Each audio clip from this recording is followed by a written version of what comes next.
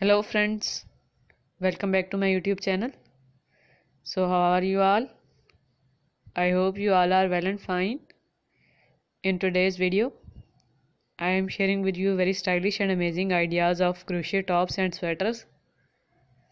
And these are made with different types of patches. Some of them are having square patches. Some of them are having round doilies and some of them are having floral work in them. A few of the designs in this video I have collected are having simple lace work of crochet also.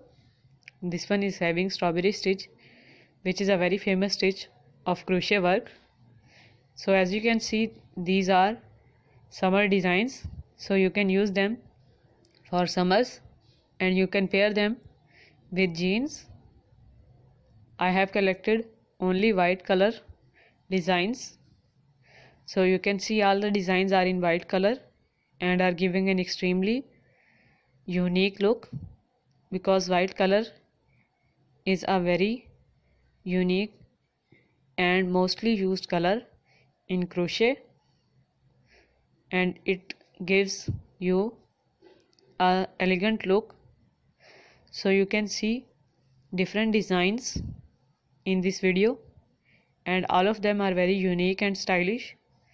So as you can see in most of the designs 2d flowers or doilies are attached.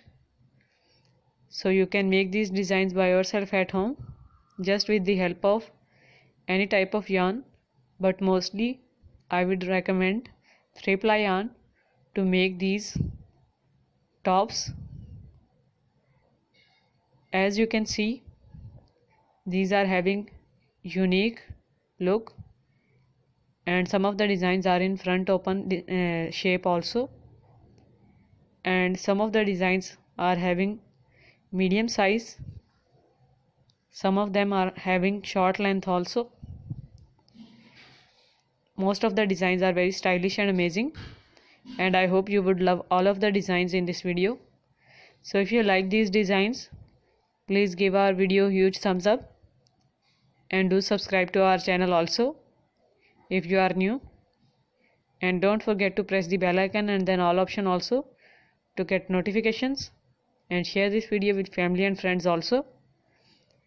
You can also visit my other channel Khushi Crochet and Embroidery to see the tutorials of any types of crochet work. So thank you so much for watching my videos and appreciating my work. On my channel you will find huge collections on crochet, macrame and women related products. Bye.